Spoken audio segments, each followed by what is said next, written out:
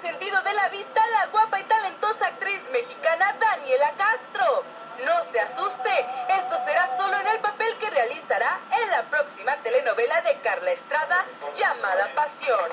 Es un reto como actriz, es un personaje completamente distinto a todo lo que he hecho en mi carrera, pero sobre todo es un reto, eh, eh, eh, no es un personaje fácil porque no lo es, porque pues nunca había hecho una villana y menos ciega.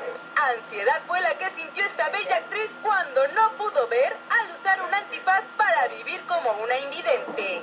Y es bien difícil darte cuenta que existe el mundo de los ciegos. Cuando yo fui a prepararme para este papel al Instituto de Ciegos, verdaderamente cuando me pusieron la primera vez el, el antifaz, fue una sensación de desesperación, de ansiedad, de Y que adaptarme poco a poco a, a, traer un antifaz para poder aprender a caminar con un bastón, para poder subir las escaleras con un bastón, para poder eh, sentir los espacios. Yo también pensaba que los ciegos no parpadeaban.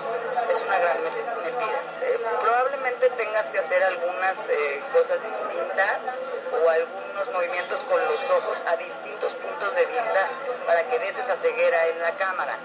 Inclusive una, una amiguita de ahí me, me dijo, oye Daniela, yo cuando veía, llegué a ver alguna vez novelas donde nos ponen a los ciegos como, como asustados de los ojos, como, y no somos así.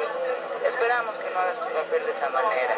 Por primera vez, Daniela Castro realizará el papel de una villana en su carrera, el cual seguramente dará de qué hablar. Y con estas imágenes regresamos a los estudios de Escándalo TV.